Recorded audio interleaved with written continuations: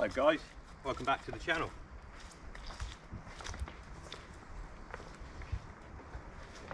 In this video, I'm going to be fitting what I'm going to call stealth rails.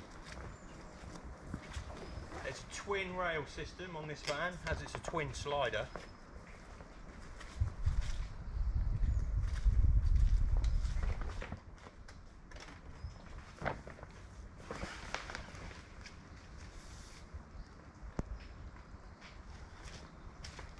Which, wherever you've gone,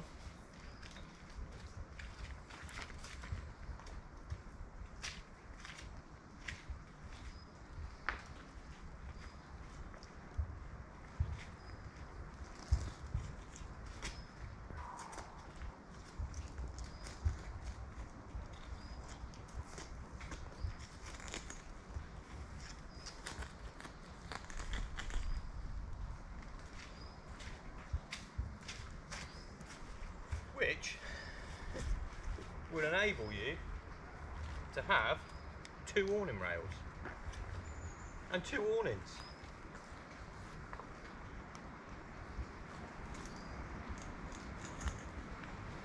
So if any of you guys out there watching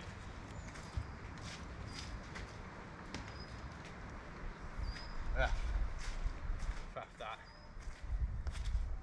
Ugh. If any of you guys out there watching has got a twin slider as well and thinking about going for the pop top, the awning rails I fitted on here are hidden under the pop top. He has no clue what he's doing. Neither do I really. Thanks for watching. I hope you find this video useful. This is Tom, this is T-Dubz, and this is going to be my twin awning rail setup.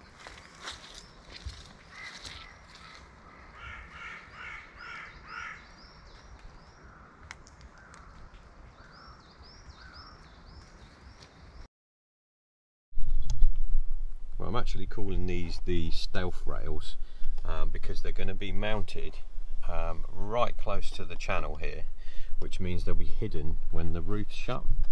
I'm going to use this point here, so right at the back of the van, as the um, lining up point so that the same on the other side, and then there's going to be a central point around here somewhere where obviously the two um, parts to the awning rails meet. Um, so what we're going to do is we're going to glue and screw. So first of all we're going to add the glue and what we're going to do to add the glue is to go over all of the holes. So in order for them to be a nice water seal as well we're going to use the glue um, to help us with that.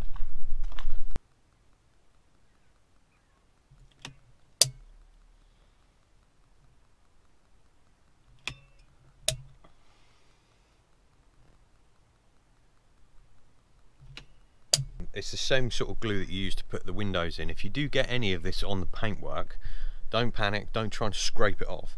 You can actually use like white spirits and that will take it off. So don't panic. And also my advice to you would to, when removing the glue off the van, is to let it get a little tacky because um, you'll find that the cloth will just spread it around if it's still wet. So let it get a bit tacky before you try and remove it. So let's just lift this into place. Okay. Just checks right on that channel. Okay. Now if I just spin you over the other side, and you can see there, it needs to fit flush against this channel here for in order for it to hide underneath the actual awning itself when the, uh, sorry for it to hide underneath the roof when the roof is shut. Right so what we're going to do now is drill some holes in all of the holes and then I'm going to use a little screw just to hold it in place. Right I'm literally just using a 2.5 mil drill bit.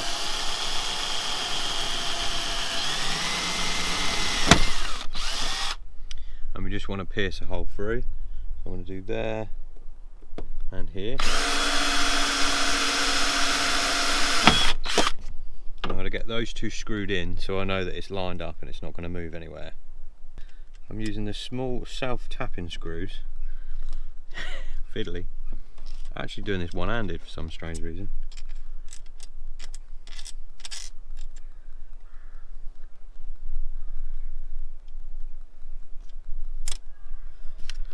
Right, that you use to do your windows with. Okay, so you'll see now that the glue has just spilt out slightly. Let me just point you down here. I'm not going to panic about removing that yet, because if I do, it will just spread and go even worse than what it actually is. So, next screw is going to go just in here. That in.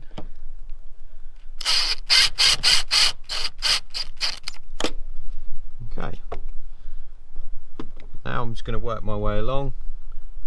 Drill, put a screw in, drill, put a screw in, drill, put a screw in, and then I'll show you right at the very end uh, because you obviously haven't got a great deal of room down there.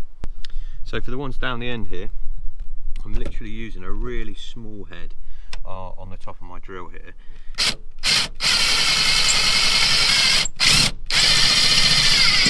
And the moment it bites I stop and then sadly have to do the rest by hand. So here we go. Got my bit got my screwdriver and I can put this bit done it by hand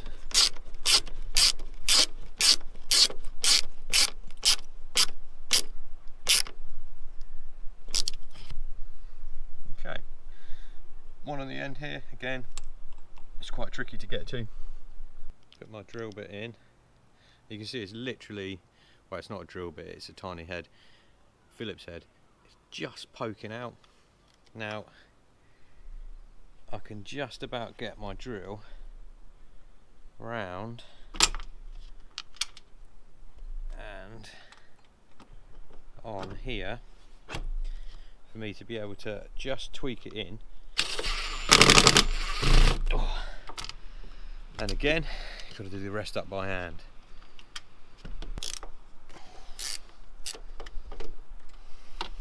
Which is easier said than done.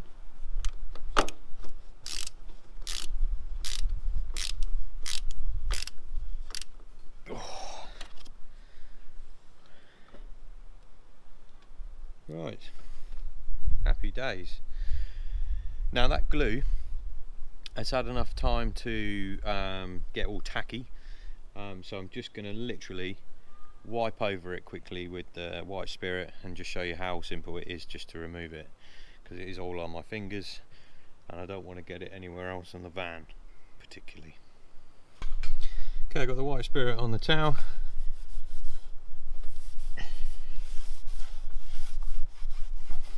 And I'm just going across the van removing the glue. That's spurted out over the edge.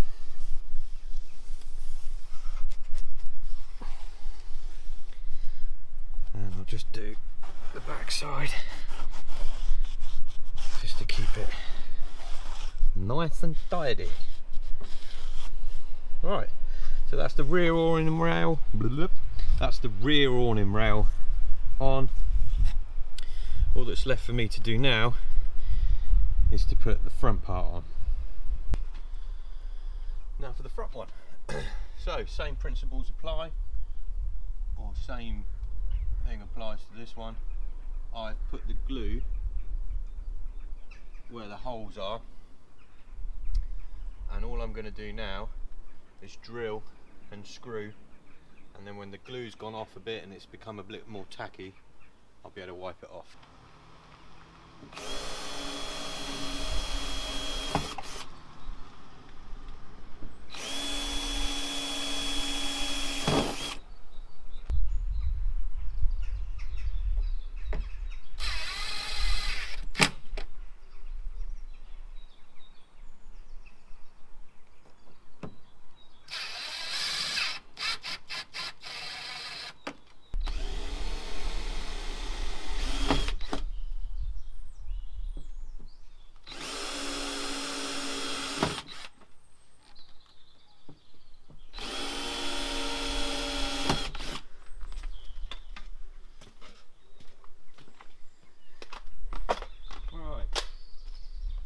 Mention much about these screws.